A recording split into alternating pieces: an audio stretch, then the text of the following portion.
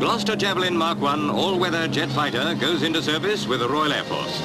First unit to be equipped with the new fighter is number 46 Squadron at Odiham, Hampshire. Visitors are struck with the aircraft's unusual sound.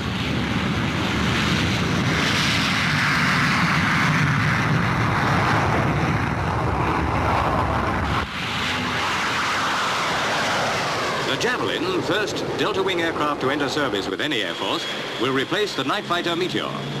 It has a much better rate of climb, higher speed, and a higher operational ceiling.